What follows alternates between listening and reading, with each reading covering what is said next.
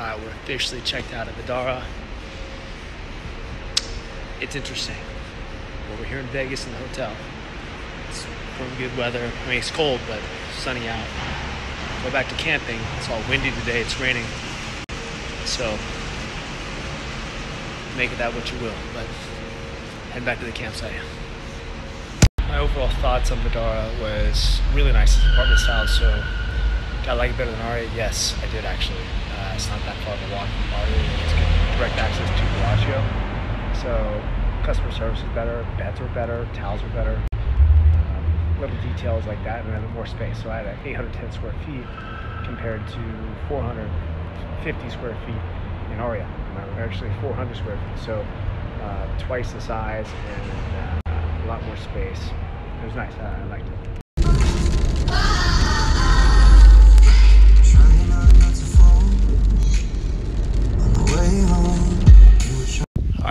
All right, guys, we are back at the campground. We have a different campsite this time. As you can see above me, we have this nice little cover, which is great. Um, the winds calm down right now, but we're dealing with like 15, 20 mile an hour gusts.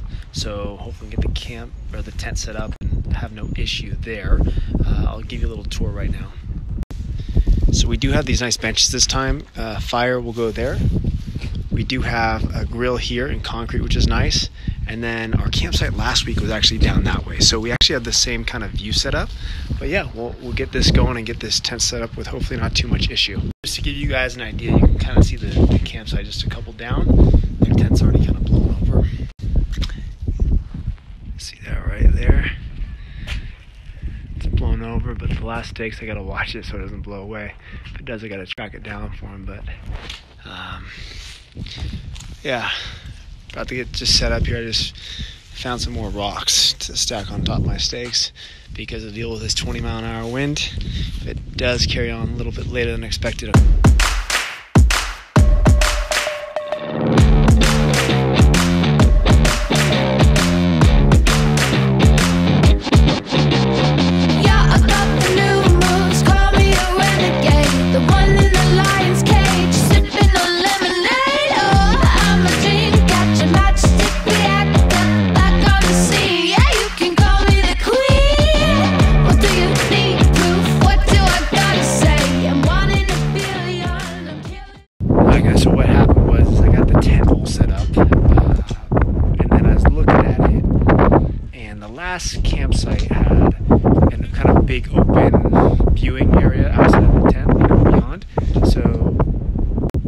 At it, and this one kind of faces into the bushes, and then the campsite or the the uh, campfire and the grill are actually uh, back here. I said, man, maybe I should have the front of the tent facing this way. So that's why I switched it, and then I caught some huge wind. That's why you saw it just kind of blow in there for a second. But anyways, we are all set up. I think it looks pretty good. We're still gonna make some modifications to it in terms of making sure it's really, really sturdy, uh, just in case these winds don't calm down.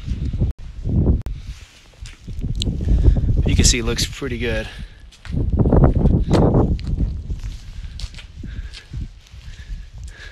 Notice how I- I put these poles further out. So I received a few DMs in regards to essential things to bring camping, especially if it's your first time.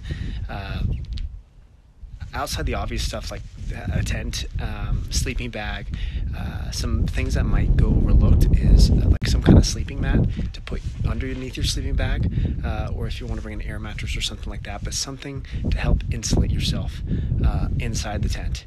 Uh, on top of that, lotion is a huge thing that I think is overlooked. It can get really dry, so hand, face, body lotion, a chapstick. Uh, anything to help yourself from drying out. Uh, water, uh, definitely bring water. I mean, always check to see what your campsite uh, has in terms of amenities, but water is is a must. Um, and then also uh, light lanterns. Uh, out here in the wilderness, when it gets dark, it's dark, and you have no supply of light unless you have your own. So outside the fire and all that kind of stuff, make sure you have light. Obviously, if you're doing more primitive camping, you're going to want pocket knife and all these other things. But I'm talking about just a, a campsite. Um, those type of things are, are really, really important. Um, so yeah, and also back to the light real quickly inside your tent.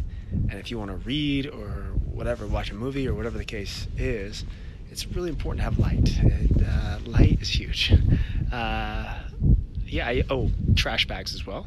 Uh, depends on your site. Like this site has a outside the campgrounds that's driving out, but I like to collect everything and put it into a trash bag to help keep it organized, so it's not just out, just sitting out. I mean, I think that's really kind of sloppy. So trash bags are also really important. So pot and or pan to cook with on top of the fire. Uh, plasticware, forks, knives, spoons to eat with that are disposable. Uh, you can put them right in the trash bag after you're done with each meal. Uh, there's a company brand called, I think it's called Campsuds, but any kind of environmental friendly soap to wash out your stuff with if you're going to be there for a few days. Here where I am, it's really cold, but if you're going to a hotter spot, you want to bring coolers for your water or your food that you're going out with. Luckily, there's a grocery store like 10 minutes away, five minutes away, so I can get my food for each night. But if you're going to a place that doesn't have a grocery store and need to bring food for a few nights or however long your stay is, bring coolers to keep the food in there. Uh, and then also firewood. Bring plenty of firewood uh, if your campsite doesn't have it, and all the campsites supply it. Keep those things in mind, and I can put more stuff. Uh, I'll, I'll, do a post on it, so I'll have a whole list for you guys. There's a wind check. Let's see.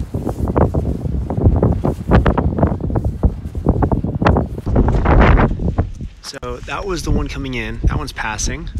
You can see this is coming in, but I think we're going to be fine. You can kind of see the system coming in over that mountain. Uh, but I do like seeing the kind of clear skies this way and the speed at which this thing's rolling in. Um, I think we should be all right. I think we should be all right, especially by maybe like 10 o'clock tonight. It should be uh, past, hopefully. They tucked it to the picnic table. Good luck.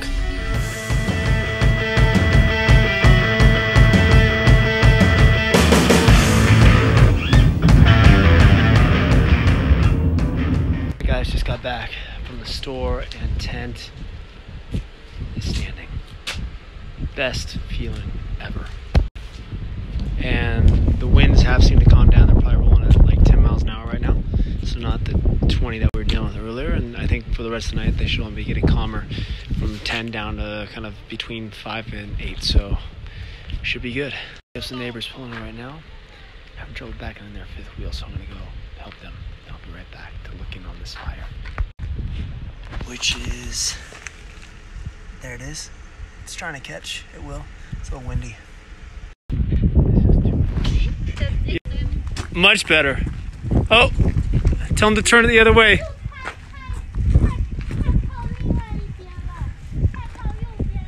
We're close, we're close.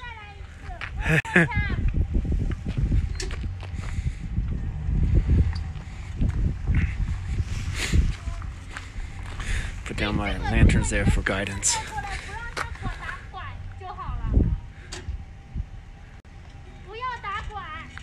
Perfect. Perfect. Tell them to start turning the other way. it's the first time.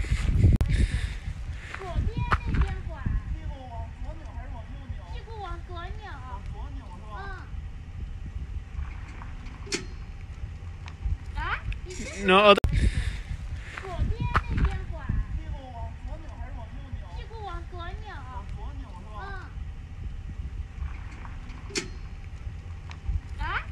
No. So they got the fifth wheel and it's their first time driving it. They're from Seattle. Guy's name is Gur. Girl's name is Yumi. Very nice, very sweet. Not much English, but um, but yeah, they're they're on a little month trek. But yeah, really nice people. That's what I like about camping is we some really cool, diverse individuals uh, out here, and uh, all walks of life, which is great. All right, we're all bundled up in our sleeping bag in the tent. Uh, it's really nice. The winds are like obsolete almost. It's like maybe three or four mile an hour winds. Um, dinner was good. We just did chicken, uh, some peppers, and uh, pretty simple. And uh, yeah, we're, we're I'd say it's about eight forty-five, nine o'clock. We're just gonna go to bed. I'm gonna read a little bit, then get some rest, and I will see you all mañana.